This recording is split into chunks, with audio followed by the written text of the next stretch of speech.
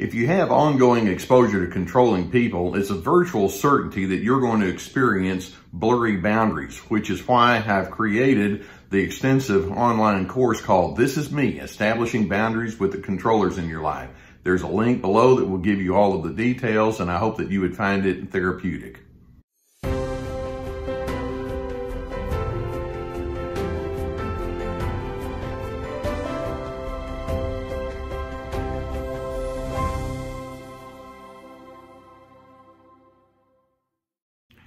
Let's step into a space today of understanding regarding the passive aggressive controlling games that narcissists want to play with you. Now, let's keep in mind that an identifying, a major identifying feature of narcissism is the craving to be in control over you. And they tend to be very aggressive in the way that they do life. But sometimes narcissists decide, well, you know, maybe I don't need to be quite so out there. They have so many different arrows in their quiver. It's like, yeah, I can be pushy and forceful and harsh and, uh, and, and, um, uh, blaming in the way that I do things. But then other times it's like, yeah, well, I just don't want to be quite that out there. I don't want to be held accountable and I don't want to give you something to, uh, to come back at me with. And so that's when they can go into this passive aggressive uh, style. And it's very sneaky and it's very successful, if you will, if you're the kind of person that says, I love to be in control over people.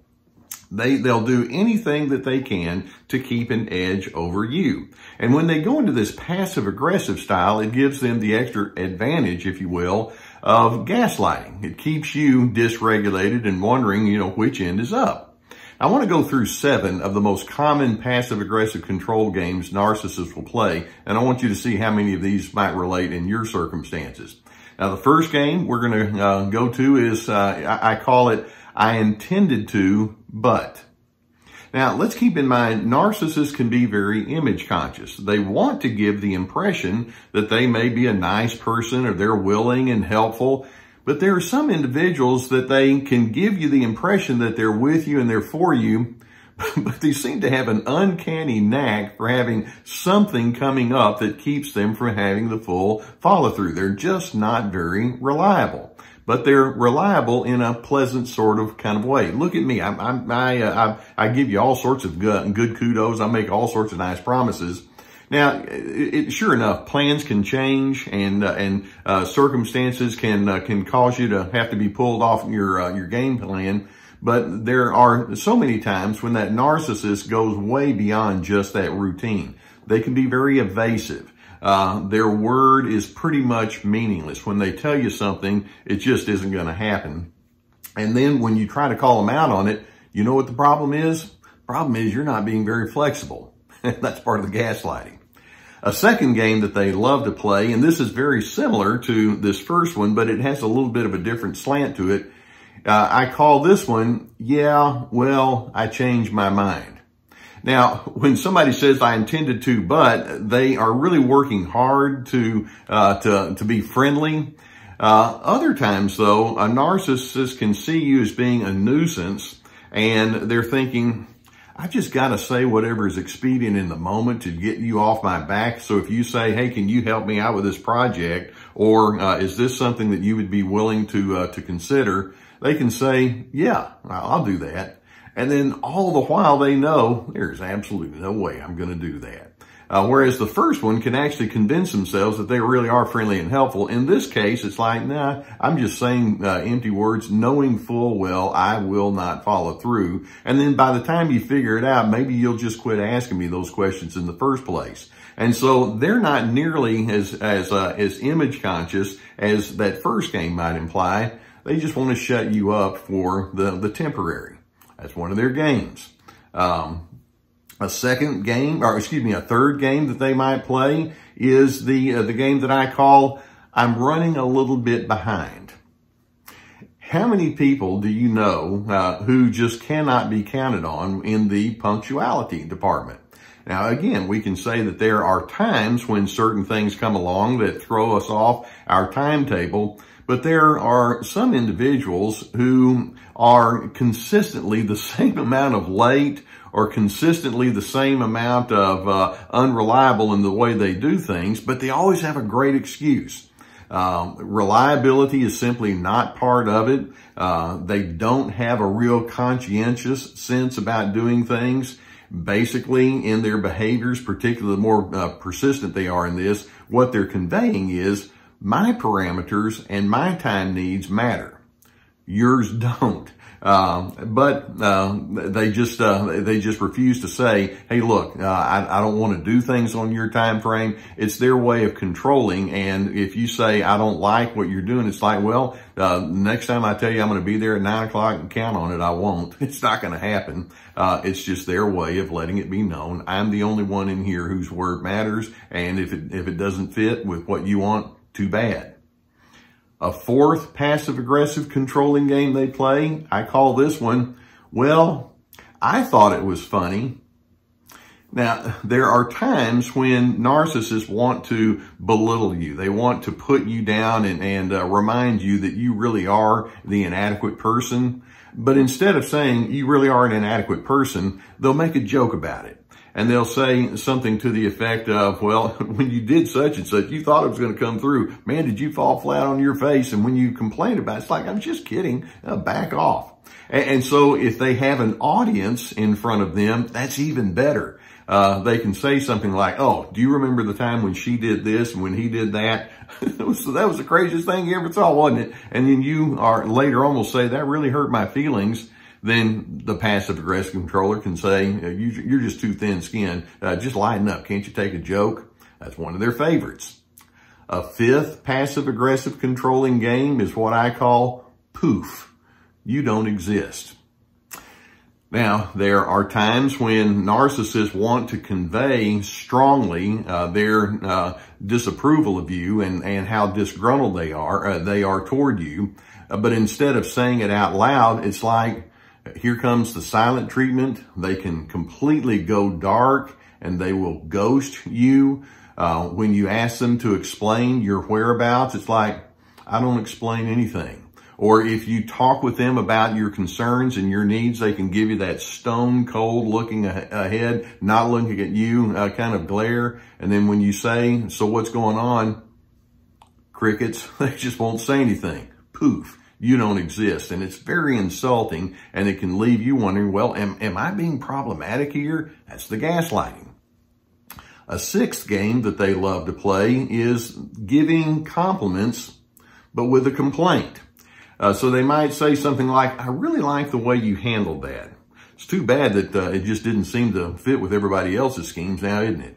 Or uh, this uh, this project you were working on, um, I think that uh, that you did a, a, good job on that. Um, problem is, uh, it looks like we didn't need to have it happen in the first place. I'm uh, sorry about that. And so they can give you a compliment. you look really nice, but I, I think you might be overdressed. You know, something like that. And then when you call them, uh, call them out on it, it's like, hey, look, I'm just trying to be nice. I'm trying to give you a compliment. All you can do is gripe and complain. That's the gaslighting part. And then a seventh passive aggressive controlling game that they'll play is what I call I can, but you can't. Uh, narcissists are, are known for having many, many double standards. For example, I can be in a bad mood. You can't. I can spend extra money. You'd better not.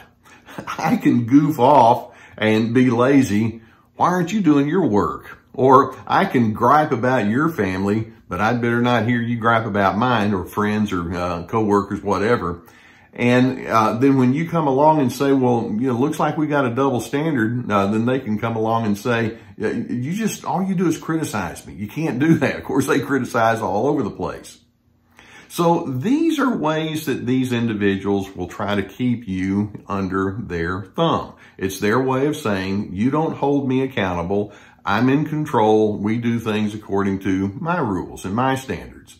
Now, one of the, the, uh, favorite responses they love to hear back from you is your arguments. When you come along and say, you're being so unreasonable, or what's wrong with you, or why do you have to uh, treat me this way? Then they'll just come right back and say, you're the one who's griping and complaining, not me. The passive aggressive person always wins. It, it, they, they already have established the rules in advance. But what if we decided, I'm not in competition with this person. You can declare yourself the winner all you want, but I have a different way of looking at this. You see, in my mind, I'm thinking it's, it's clear that you're a game player, but I'm not. Or it's clear that you like to humiliate. That's not my game. I don't do that and I don't, I won't receive it. It's clear that you can't be responsible. I like being with responsible people. It's clear that you're incapable of having heart connections. I like to connect at a heart connection. It's good for me to know uh, where you're coming from. It's clear that you like to toy with me. I'm no one's toy.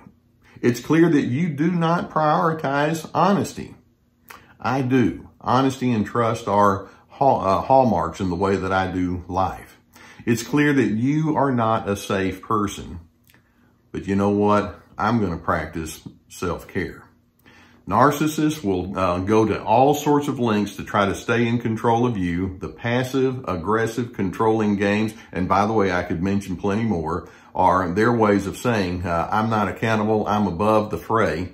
But I'm hoping you can see straight through it and it's like, you know what? Why don't we just declare you king or queen of the hill? Because I'm not on that hill anyway. I'm over here on Team Healthy. I'm going to do things in a, in a, a proper kind of way and live my life with good standards and principles. And if it means that you're not going to engage with me, you know what? I'm going to go ahead and get comfortable with that idea.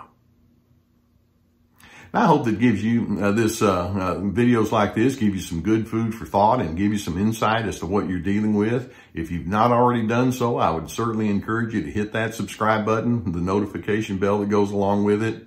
Many times when you uh, are uh, introduced to subjects like this, it can prompt the need to seek out some sort of therapy. If you have a therapist in your area, certainly I would encourage you to seek that out. Or if you would prefer, we have a sponsor that can help you with online therapy. And there's a whole host, a whole team of uh, therapists who can uh, that you can choose from that can help sift through these kind of things. And I would strongly encourage that. In addition, we have my courses. Uh, and these are uh, multiple videos with written material and um, uh, thought-provoking questions that go along along with each lesson, and uh, they're meant to have a very strong uh, therapeutic uh, in, uh, intent toward, towards it. Uh, this is me, which is about setting boundaries. Free to be, which is about finding yourself despite the controllers in your life. In addition, we also have my books and other resources below. That's that's why it's all down there. Okay, uh, we know that uh, narcissists are game players. I hope that you can see straight through their games, and in doing so, it's like, I'm going to stay on my path towards healthiness.